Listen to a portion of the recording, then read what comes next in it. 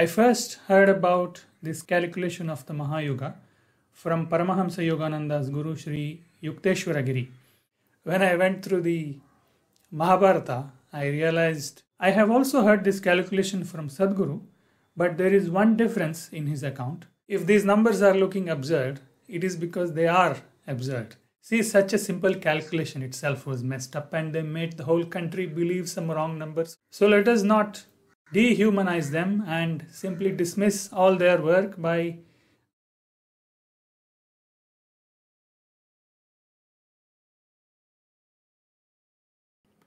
In India, the popular narrative today is that we are now in Kali Yuga and the total number of years in Kali Yuga is 4 lakh 32,000 years, of which only about 5,000 years is supposed to have passed.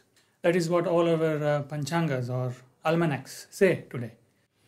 Kali Yuga is 4 lakh 32,000 years, Dwapara Yuga is 8 lakh 64,000 years, Krishna's time comes towards the end of the Dwapara Yuga.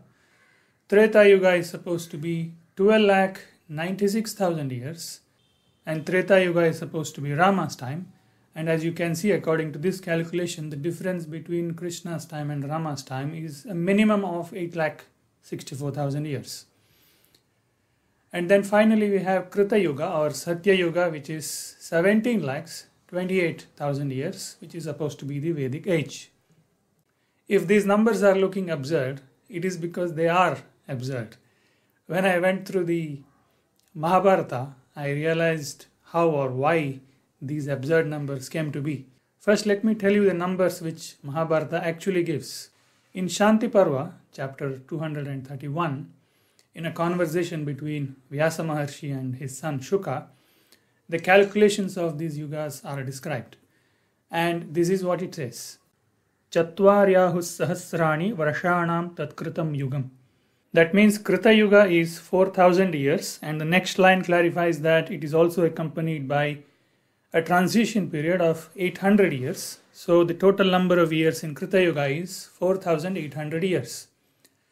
Then the next verse says that each subsequent yuga will lose one quarter of this number, which means Treta Yuga is 3600 years, Dwapara is 2400 years, and Kali is 1200 years. So all the four yugas together come to 12,000 years. And then it further says that this is only one half, there is also a complementary half to it. So the total number of years of one full cycle is 24,000 years. Now, Mahabharata is not the only text to have reported this. There are other scriptures also which say the exact same thing. And more importantly, this number finds an agreement in modern astronomy as well. There is something called the Great Year, which is based on the observation that equinoxes move cyclically through the zodiac, and this movement happens at a rate of approximately 1 degree per 72 years, which means a total of about 25,800 years for one full cycle through the zodiac. As you can see, this is very close to the numbers that Mahabharata is giving for the span of one Mahayuga. I first heard about this correct calculation of the Mahayuga from Paramahamsa Yogananda's Guru Sri Yukteswaragiri. You can find this in detail in his book, The Holy Science.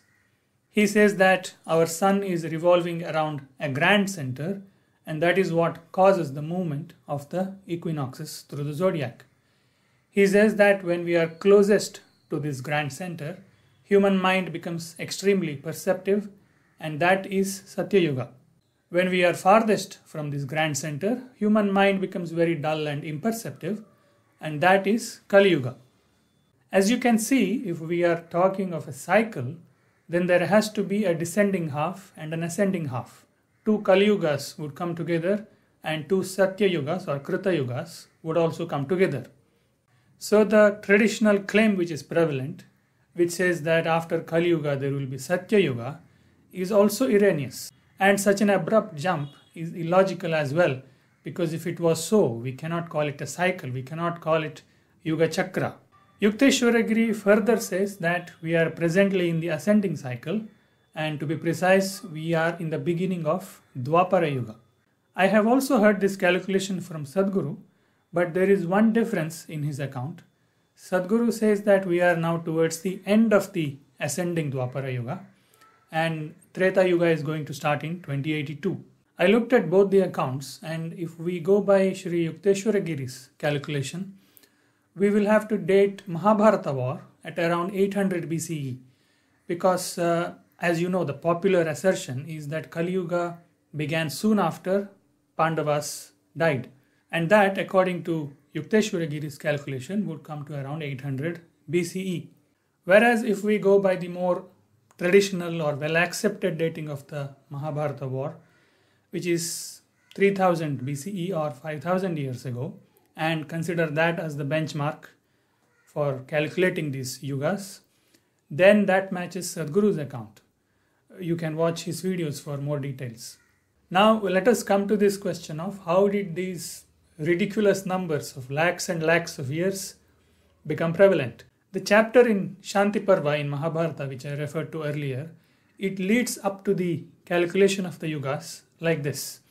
First, it says that one month of human beings is equivalent to one day of the Pitrus or the ancestral world. Then it says that one year of human beings is one day of the Devas or the gods. Then it goes on to describe what constitutes one day of Brahma, and then finally it arrives at the number 1000 Mahayuga constitutes one day of Brahma. And one Mahayuga, as we saw earlier, is described as 24,000 years. But some over-enthusiastic Sanskrit scholar committed a blunder at some point and he translated the last item as 24,000 Deva Varsha or God years. So they ended up multiplying 24,000 with 365 and arrived at these absurd figures of 4 lakhs, 8 lakhs, or whatever. But God year is not mentioned anywhere, and who said that God year, even if you assume it, as 365 days? And when everything previous was calculated keeping human time span as the basis, why change that suddenly for the last item alone? In fact, Vyasa Maharshi himself clearly declares in this chapter that I will now tell the span of the Brahma day in terms of the human day. Therefore, there is no need to go into any speculations in the first place. So, this is clearly a blunder of some scholar, and unfortunately, no one dared to challenge this after him. The dark age has already passed, but people are still holding on to a mistake that was committed in the dark age. So, Kali Yuga is surviving today only as a lie that sprouted during Kali Yuga. So, anyway, whether we go by Yukteswara Giri's account or Sadhguru's account, either way, we are no more in Kali Yuga. And if Kali Yuga itself is long over, then which Kalki are we waiting for? Which Kalki avatar are we waiting for? No one is coming. This Kalki business itself seems to be the mischief of some of the scholars of the Dark Ages. Maybe something was said earlier poetically in an abstract way, in a cryptic way. And these scholars understood it in their own way and uh, changed it to something else altogether. For example, we can clearly see that what is popular today as uh, Dashavatara is essentially just a depiction of the evolution of life and evolution of human beings as well. But the scholars of the Kali Yuga were probably too dense to grasp this. So instead of seeing that it represents a rise of consciousness, they inverted the whole thing and said that this is about a descent of someone from the heavens. Human mind became more and more imperceptive, more and more religious, more and more dumb in the dark ages, and people started fantasizing that somebody would come down from upstairs. See, such a simple calculation itself was messed up, and they made the whole country believe some wrong numbers for thousands of years, and we have been mindlessly repeating it. Who knows what else they have made us believe through their writings?